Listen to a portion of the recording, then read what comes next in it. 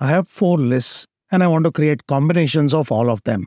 So word online, yes, yes. Word online, yes, no. Word online, no, yes. You get the idea. So all the combinations I want quickly.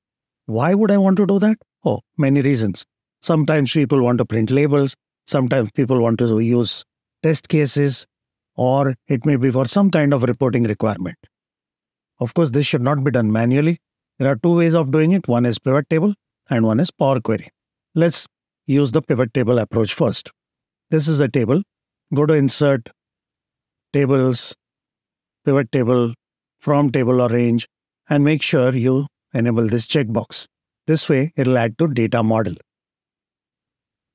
You will see the table here, but we want other tables as well, so click on All.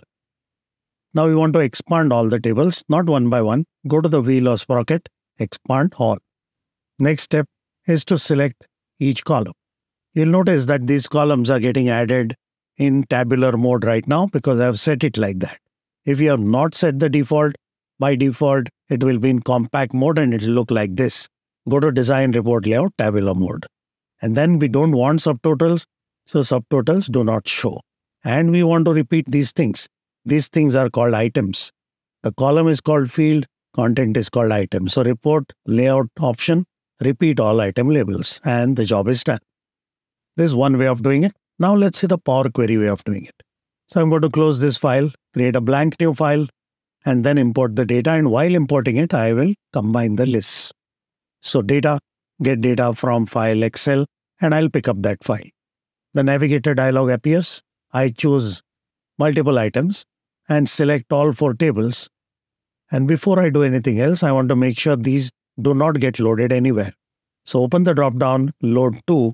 We'll just create connections to start with, and then we will manipulate it. So only create connection and remove this checkbox. Click OK. Now Power Query will not open. We just said connection. It created connections. Done. Now double click on any one of them. Power Query will open. We have four tables. I want to keep products as the first table. Now I want to add the other tables, certificates, evaluations, products, types, whatever. How do I do that? I go to add column and add custom column. And here I type the entire table name. In fact, you'll notice that in the autocomplete, the name appears. This kind of icon means a table or a query rather. That's it. No quotes, just the name. Okay. So it'll add another column. Like that, I'm going to repeat the same process for the other two tables, evaluations and types. Great. Now we have four columns and in the second, third and fourth column, we have tables and each table actually contains the real data from that table. This was just to show you, so I don't want this step. I remove that step. I want to expand these guys. So click on the expand button one at a time. I don't want the original column name as prefix. Make sure this is unchecked and click OK. So now this combinations have already come. Word yes, no, Excel yes, no. Now these have to combine with the next one. So keep expanding them one by one and the job is done. That's how you create combination of any number of items in any number of lists. Go to home, close and load. Load to is disabled now because we have already chosen the default. Now say close and load because we have no choice. It's still all connections, which is good.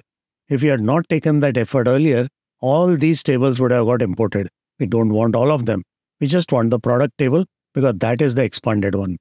Right click on it, choose close and load to, and depending on how much data it is, choose whether you want to put it in table or you want to add it in data model. Of course, never use both. That's going to occupy double the amount of space. If the data is very large, use data model. If data is small, use table. Let me import it in a table right now, show you that it works fine. And this is Power Query. Remember, right now we have 48 rows. I'm going to open the original file and I'm going to add new item in each one of them. I'm simply going to close it, right click, and refresh. And that should do the trick. As I told you earlier, the number of rows suddenly expanded to 181. Technically, this kind of thing is called a Cartesian product. So I hope you found this useful. Share it with colleagues as well. So that's it for now. Thank you.